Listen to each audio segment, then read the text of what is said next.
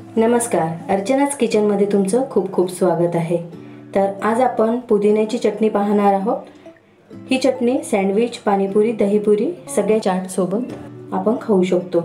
चला तर चटणीला लागणारं साहित्य पाहून घेऊया. कोथिंबीर पुदिना हिरवी मिरची लिंबू आणि मीठ. पुदिना आणि कोथिंबीर छान फ्रेश अशी आहे. तर हे आपल्याला सारखं प्रमाणात घ्यायचं आहे. जेवढी आपण कोथिंबीर घेणार आहोत तेवढंच आपल्याला पुदिनाचे पानंसुद्धा घ्यायचे आहे. तीन हिरव्या मिरच्या आपण घेतो आहे. एक लिंबू आणि चवीनुसार मीठ आपल्याला लागेल. तर आता मी मिक्सरचं जार घेतलेलं आहे. त्यामध्ये आपण कोथिंबीर टाकून घेऊ. त्यानंतर ज्या हिरव्या मिरच्या मी तीन घेतलेल्या होत्या त्या आपल्याला तोडून टाकायच्या आहेत. त्यानंतर पुदिन्याची पानं आपण टाकून घेऊ.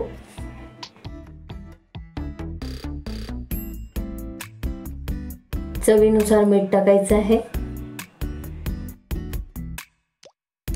आणि लिंबाचा रस.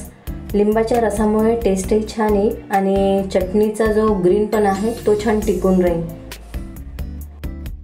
आता आपल्याला थोडंसं पाणी टाकून घ्यायचं आहे. चटणीची कन्सिस्टन्सी तुम्हाला कशी पाहिजे आहे त्याच्यावर अवलंबून आहे. थोडं कमी जास्त प्रमाणात पाणी टाकून तुम्ही ते करू शकता. अशा प्रकारे चटणी आपण मिक्सरमधनं बारीक करून घेतलेली आहे. यालाच आपण पुदिना कोथिंबीरची चटणी म्हणू शकतो किंवा ग्रीन चटणी म्हणू शकतो. किंवा फक्त पुदिन्याची चटणीसुद्धा आपण म्हणू शकतो. तर तयार आहे आपली चटणी.